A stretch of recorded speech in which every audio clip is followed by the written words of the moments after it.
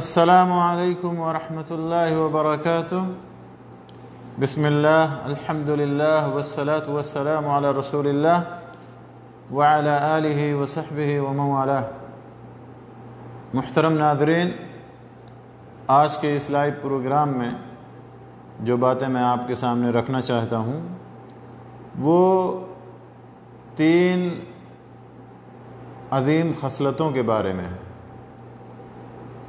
तीन अजीम मकारिम अखलाक के बारे में है। और इन तीन चीज़ों का ज़िक्र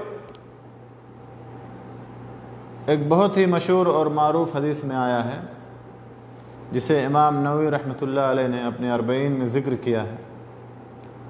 और इस हदीस के रावी मशहूर, मरूफ जलीलक़द्र सहाबी हज़रत अबू हुरैरा रज़ी अल्लाह तु हैं कहते हैं कि रसूलुल्लाह सल्लल्लाहु अलैहि वसल्लम ने इरशाद फरमाया फरमाया मन कान युमिन बिल्लाहि वल यौमिल आखिर फलयकुल खैरन औ लियस्मुत वमन कान युमिन बिल्लाहि वल यौमिल आखिर फलयुक्रिम जारहु वमन कान युमिन बिल्लाहि वल यौमिल आखिर फलयुक्रिम दैफहु रवाहुल बुखारी व मुस्लिम यह हदीस मुत्तफ़ अलह है। सही बुखारी, सही मुस्लिम और हदीस की दूसरी किताबों के हवाले से। अल्लाह के रसूल सल्लल्लाहु अलैहि वसल्लम ने इरशाद फरमाया कि जो शख्स अल्लाह और योम आखरत पर ईमान रखता है, उसे चाहिए कि वो भली बात कहे, अच्छी बात अपनी ज़ुबान से अदा करे, वरना खामोश रहे। और फिर आगे फरमाया कि जो शख्स अल्लाह और योम आखरत पर ईमान रखता है, उसे चाहिए कि वो अपने पड़ोसी की इज़्ज़त करे। और फिर तीसरी खसलत के बारे में आपने फरमाया आगे, वमन कान युमिन यौमिल आखिर, फलयुक्रिम दैफहु, कि जो शख्स और जो शख्स अल्लाह और योम आखरत पर ईमान रखता है।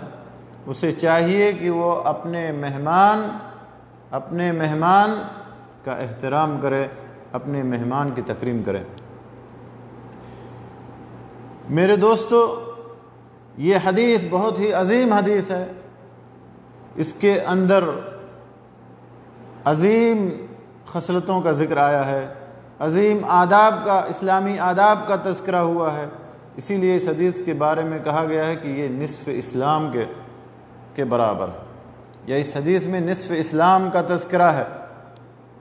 क्योंकि ये जो अहकाम और ये जो आदाब इस हदीस में बयान किए गए हैं, वो हकूक़ुल इबाद से मुतक़ हैं, बंदों के हकूक़ से मुतक़ हैं, मखलूक से मुतक़ हैं, क्योंकि दो तरह के हकूक़ होते हैं।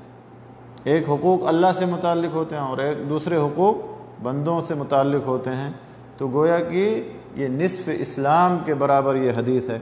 और हाफिज़ इबन हजर अलैह ने इस हदीस के बारे में लिखा है कि ये हदीस भी जवाम में से है। इसी तरह से इबन हजर अलहैतमी रहमल्ला ने भी इस हदीस के बारे में लिखा है या बयान किया है कि यह हदीस अजीम, दीन के अजीम कवायद में से है। और इसी तरह से इस हदीस के बारे में कहा गया है कि नबी सल्लल्लाहु अलैहि वसल्लम का ये फरमान कि मन खान युमिन आखिर फलियकुल खैरन औ लियस्मुत। और इसी तरह से नबी सल्लल्लाहु अलैहि वसल्लम की वो हदीस जिसमें आपने फरमाया, मिन हुस्न इस्लामिल मरइ तरकुहु मा ला यानी कि आदमी के इस्लाम की खूबियों में से ये बात है कि वो लायानी चीज़ों को छोड़ दें। और इसी तरह से जिसमें आपने ला तगज़ब गुस्सा होने से मना फरमाया, और चौथी हदीस जिसमें आपने फरमाया कि तुम में से कोई शख्स मोमिन नहीं हो सकता जब तक कि अपने भाई के लिए वही चीज़ ना पसंद करे जो अपने लिए पसंद करे। तो ये चार अहादीस जो हैं, इसके अंदर तमाम खैर की बातों का ज़िक्र है। और इसके अंदर तमाम भलाई के आदाब का ज़िक्र है। तो मेरे दोस्तों, ये हदीस बहुत ही अदीम हदीस है और इसमें तीन अजीम खसलतों का ज़िक्र आया है, जिनका ताल्लुक़ हकूक़ुल इबाद से है। सबसे पहली चीज़ किस चीज़, सबसे पहली खसलत, सबसे पहली आदत जिसका तस्करा इसमें आया, सबसे पहला अमल जिसका ज़िक्र इस हदीस में आया, वो क्या है? आपने फरमाया, मन कान युमिन बिल्लाहि वल यौमिल आखिर जो अल्लाह पर ईमान रखता है। और यौम आखरत पर ईमान रखता है। ईमान के छः अरकान हैं। अल्लाह पर ईमान, मलाइका पर ईमान, आसमानी किताबों पर ईमान, नबियों रसूलों पर ईमान, योम आखरत पर ईमान, अच्छी और बुरी तकदीर पर ईमान। जिन अरकान पर हर मुसलमान के लिए ईमान लाना ज़रूरी है, उसके बगैर कोई आदमी मुसलमान नहीं हो सकता, कोई आदमी मोमिन नहीं हो सकता। लेकिन दो का तस्करा इसमें नबी सल्लल्लाहु अलैहि वसल्लम ने किया। एक तो सबसे पहले रुकन का, कि जिसके ज़रिए से आदमी ईमान और इस्लाम में दाखिल होता है यानी अल्लाह पर ईमान लाना, अल्लाह पर ईमान लाना, और अल्लाह ताला ने ही इंसान को बनाया और पैदा किया है तो सबसे पहले रुकन का ज़िक्र किया, और फिर उस रुकन का तस्करा किया कि जो सबसे इंसान की मंजिल के एतबार से, इंसान के ठहराव के एतबार से, इंसान के ठिकाने के एतबार से जो सबसे आखिरी रुकन यानी आखरत और कब्र और आखरत का तो उसका तस्करा नबी सल्लल्लाहु अलैहि वसल्लम ने किया। ये दो अरकान का तस्करा किया, लेकिन इसका मतलब नहीं है कि सिर्फ़ दो रुकन पर ईमान लाना है, दो अरकान पर ही सिर्फ़ ईमान लाना है। ईमान के छः अरकान पर ईमान लाना हर मुसलमान के लिए ज़रूरी है, और अगर कोई शख्स छः अरकान में से किसी एक रुकन का भी इनकार करता है तो तमाम अनका, तमाम अरकान का मुनकर होगा। आपने फरमाया, जो अल्लाह पर ईमान रखता है और योम आखरत पर ईमान रखता है। ज़ाहिर सी बात है वो मुसलमान होगा, मोमिन होगा। क्योंकि इसके बगैर कोई आदमी मोमिन और मुसलमान नहीं हो सकता तो मोमिन और मुसलमान होगा कि जो शख्स अल्लाह और योम आखरत पर ईमान रखता है, उसको चाहिए कि वो अच्छी बात कहे, उसको चाहिए कि वो भली बात बोले, उसको चाहिए कि अपनी ज़ुबान से खैर की बात बोले अवलियसमत वरना बसूरत दीगर, वो खामोश रहे। अगर अपनी ज़ुबान से अच्छी बात नहीं बोल सकता अपनी ज़ुबान से भली बात नहीं अदा कर सकता, अपने ज़ुबान, अपनी ज़ुबान से खैर का कलाम नहीं कह सकता तो फिर उसके लिए खामोशी बेहतर है, क्योंकि खामोशी बहुत सारी बीमारियों से, बहुत सारी बुराइयों से, बहुत सारे गुनाहों से निजात का ज़रिया है। और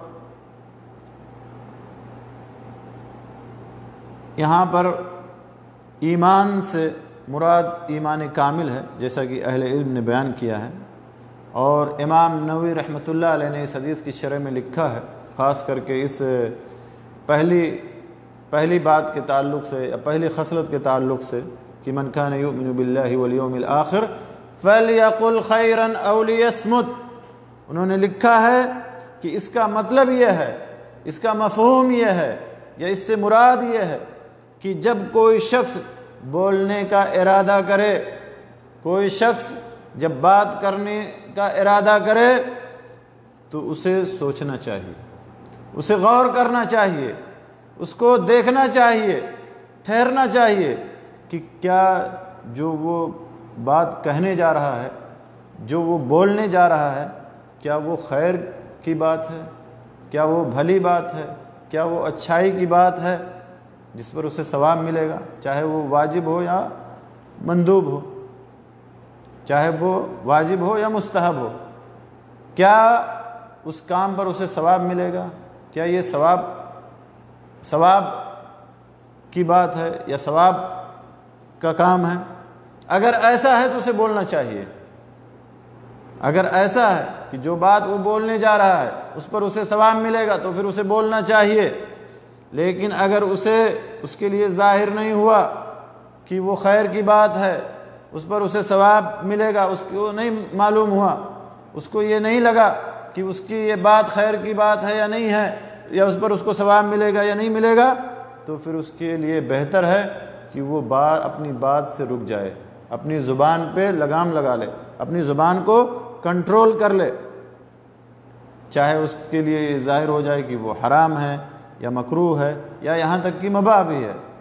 अगर उस पे, उसमें, उस पर उसको सवाब नहीं मिलेगा तो फिर उससे रुक जाना उसके लिए बेहतर है। और इसमें मेरे दोस्तों, इस हदीस से पता चलता है कि ज़ुबान की हिफाजत का क्या मुकाम और मर्तबा है। ज़ुबान की हिफाजत का, की कितनी अहमियत है मेरे दोस्तों, क्योंकि ज़ुबान ही के ज़रिए से आदमी एक कलमा बोलता है, ज़ुबान के ज़रिए से ही ऐसी बात करता है कि जिसके ज़रिए से जहन्नम के जहन्नम के गहराइयों में चला जाता है या जहन्नम के गढ़े में उसे ढकेल दिया जाता है, जैसा कि दूसरी हादिस में नबी सल्लल्लाहु अलैहि वसल्लम ने इसका ज़िक्र किया। और अल्लाह के नबी सल्लल्लाहु अलैहि वसल्लम ने फरमाया, मैं अदमन लिही व रिजलही, अदमन जन्ना कि जो शख्स मुझे अपने दोनों जबड़ों के दरमियान, यानी ज़ुबान की हिफाजत की गारंटी दे दे, ज़ुबान की हिफाजत की ज़मानत दे दे, मैं उसे जन्नत की ज़मानत देता हूँ। और जो शख्स मुझे अपने दोनों टांगों के दरमियान, यानी शर्मगाह की हिफाजत की ज़िम्मेदारी दे दे, मैं उसे जन्नत की ज़मानत देता हूँ। तो मेरे दोस्तों, ज़ुबान की हिफाजत हर मुसलमान के ऊपर वाजिब है, क्योंकि इसी ज़ुबान की वजह से आदमी कुफरिया कलिमात बोलता है, इसी ज़ुबान की वजह, ज़रिए से आदमी कबीरा गुनाहों का इरतकब करता है। इसी ज़ुबान की वजह से आदमी झूठ बोलता है। इसी ज़ुबान के ज़रिए से आदमी गीबत करता है। इसी ज़ुबान के ज़रिए से आदमी चुगलखोरी करता है। सारे मसाइब इसी ज़ुबान के ज़रिए से अदा करता है। तो ज़ुबान की हिफाजत बेहद ज़रूरी है और सबसे पहली खसलत जिसका ज़िक्र इस हदीस में नबी सल्लल्लाहु अलैहि वसल्लम ने फरमाया है, वो है ज़ुबान की हिफाजत कि आदमी को अच्छी बात ज़ुबान से बोलनी चाहिए। और अगर अच्छी बात नहीं बोल सकता, खैर की बात नहीं कर सकता, भली बात नहीं कर सकता तो फिर उसे खामोश रहना चाहिए, क्योंकि खामोशी बहुत सारी बुराइयों से नजात का ज़रिया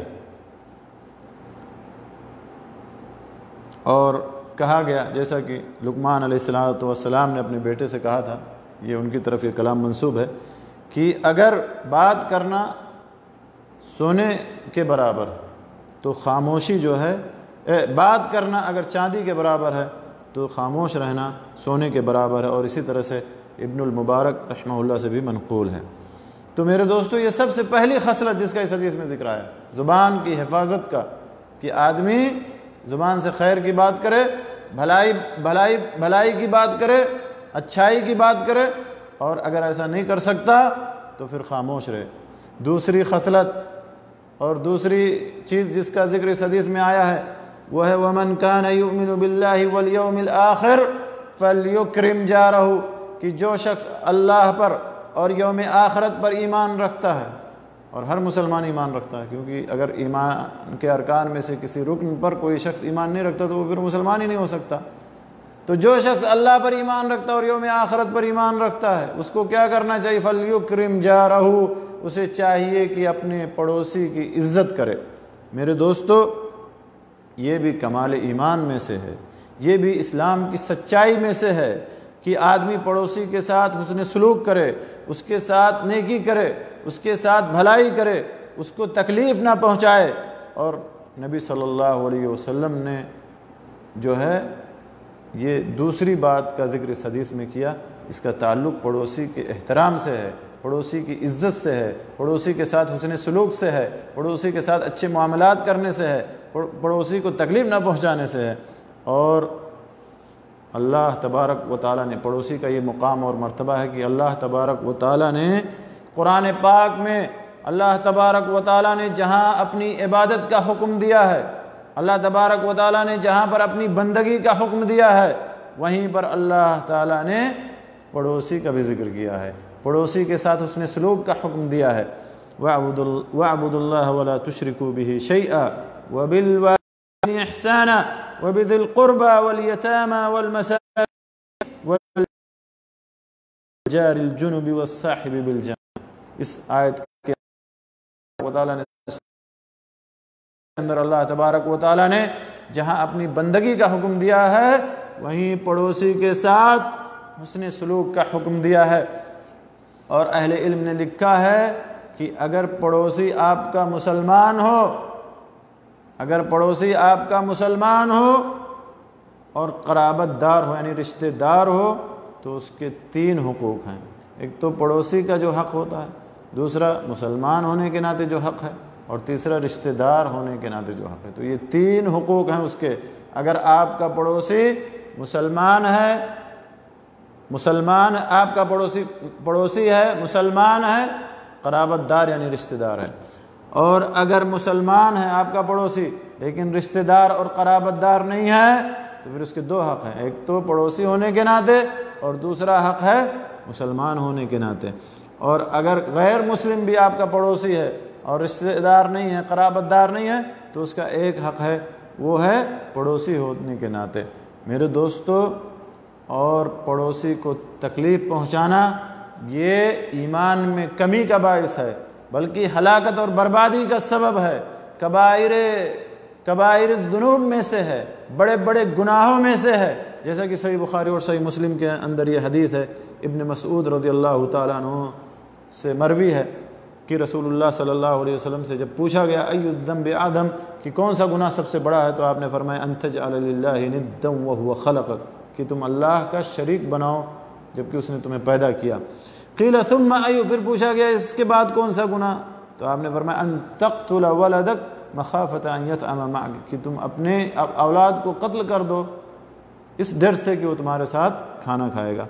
फिर पूछा गया कि इसके बाद कौन सा है? तो आपने फरमाया, अन तुजानी हलील तजारिक अपने पड़ोसी की बीवी के साथ जिना करना। अपनी पड़ोसी की बीवी के साथ जनाकारी और बदकारी करना। नौज बिल्ला मिलदार तो ये कब कबायर कबायर कबायर जुनूब में से है बड़े बड़े गुनाहों में से है। और अल्लाह के नबी सल्लल्लाहु अलैहि वसल्लम से ये हदीस भी मरवी है सही बुखारी के हवाले से कि वल्लामिन वल्लामिन वल्लामिन तीन बार आपने फरमाया कि अल्लाह की नहीं हो सकता। अल्लाह की कसम, वो शख्स मोमिन नहीं हो सकता। अल्लाह की कसम, वो शख्स मोमिन नहीं हो सकता। जब आपसे पूछा गया, कील मन या रसूल अल्लाह कौन है अल्लाह के रसूल?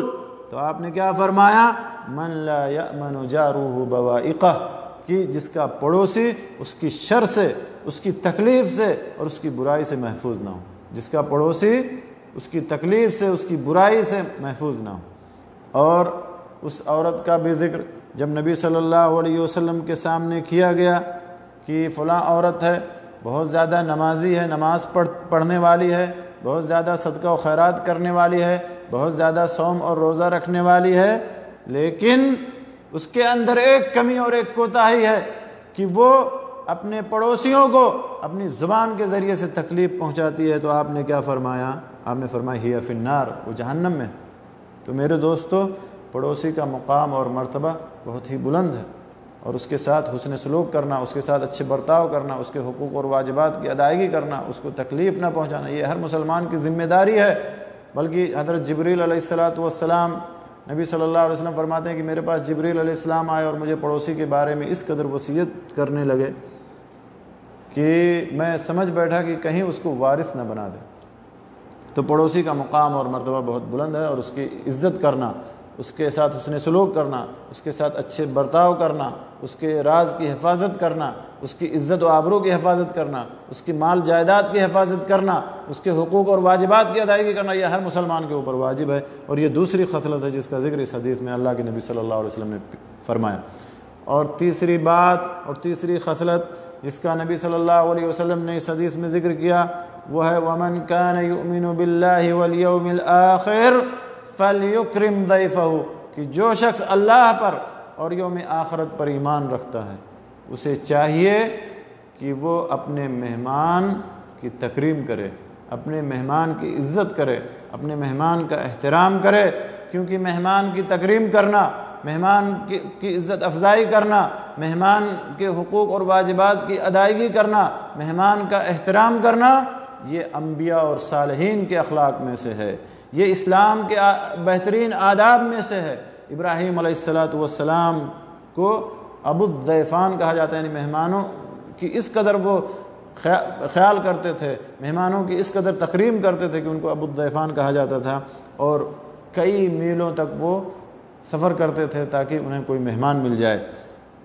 और मेहमान की इज़्ज़त करना ये ईमान की अलामत में से है हुसन इस्लाम के मज़ाहिर में से है। और हर मुसलमान को चाहिए कि वो अपने मेहमान की इज़्ज़त करे, उसका एहतराम करे, उसका अच्छे से इस्तकबाल करे, उसको अच्छे तरह से बैठाए और उसकी ज़ियाफ़त करे, उसकी मेहमान नवाजी करे, उसको खिलाए और पिलाए। ऐसा नहीं, जैसा कि बाज़ लोग हम में से ऐसे हैं कि अगर मेहमान उनके घर कोई आ जाए तो उनका मुँह बिगड़ जाता है, उनका चेहरा बदल जाता है उनके उनके दिल के अंदर कोफ्त और तकलीफ़ होती है। नहीं मेरे दोस्तों, मेहमान की इज़्ज़त करना, मेहमान की तकरीम करना, मेहमान की मेहमान नवाजी करना उसने इस्तकबाल करना, उसके साथ अच्छी तरह से बातचीत करना, खर खैरियत दरियाफ्त करना, अच्छे से बिठाना, खिलाना, ये हर मुसलमान के ऊपर वाजिब और ज़रूरी है। और इसीलिए अल्लाह के नबी सल्लल्लाहु अलैहि वसल्लम ने फरमाया अब दियाफ़त सलासत अयाम कि मेहमान नवाजी तीन दिन है। वह जाइज़त हो यौमन वलीला और उसका इनाम जो है, वो एक दिन और एक रात है। यानी एक दिन और एक रात खूब अच्छे से खिलाना, अच्छे से पिलाना, अच्छे से उसका उसका उसकी खर खैरियत दरियाफ़्त करना, उसके साथ बातचीत करना। इसीलिए इमाम नवी रहमत ने लिखा है कि ज़ियाफ़त और मेहमान नवाजी पर तमाम मुसलमानों का इजमा है। अलबत् इमाम शाफ़ी इमाम मालिक और इमाम अबू हनीफ़ा रहमत यानी जमहूर के यहाँ ये सुन्नत है, वाजिब नहीं, जबकि इमाम अहमद के यहाँ यह है कि एक दिन और एक रात ये वाजिब है। अलबत् मेहमान को भी चाहिए कि वो मेज़बान का ख्याल रखे और तीन दिन से ज़्यादा बग़ैर किसी ज़रूरत और बग़ैर किसी उज़्र के और बग़ैर किसी मेहमान के मुतालबे के तीन दिन से ज़्यादा ना ठहरे, जैसा कि नबी सल्लल्लाहु अलैहि वसल्लम ने इस बारे में ज़िक्र किया है, ताकि वो गुनहगार ना हो जाए। आपने फरमाया, जैसा कि सही मुस्लिम के अंदर है कि, कि किसी मुसलमान के लिए जायज़ नहीं है कि वो अपने भाई के पास इतने दिन तक क़याम करे कि उसे गुनहगार कर दे। तो साहबा ने पूछा अल्लाह के रसूल कैसे उसको गुनहगार कर देगा? तो आपने फरमाया कि उसके पास इतने दिन तक क़याम करेगा तो उसके पास जब इतने दिन तक क़याम करेगा हो सकता है उसके पास कोई चीज़ ना हो कि जिसके ज़रिए से उसकी जो है मेज़बानी करे या उसकी ज़ियाफ़त करे और हो सकता है उसके दिल के अंदर कोफ्त पैदा हो, तकलीफ़ पैदा हो और फिर वो गुनहगार हो। तो हमें मेहमान की इज़्ज़त करना है, तकरीम करना है, उसके हकूक़ और वाजिबात को अदा करना है और इसी तरह से मेहमान को भी इस बात का ख्याल रखना। अल्लाह ताला से दुआ है कि अल्लाह ताला हमें इन बातों को जानने, सुनने और समझने के बाद अल्लाह में नेक अमल की तोफ़ी बख्श। आमीन। व आखरुदावान अलहमदिल्ला रबालमीन वसल नबीन महमद वाली वसाहब अजमैन व जज़ाकम्ला खैरन वासन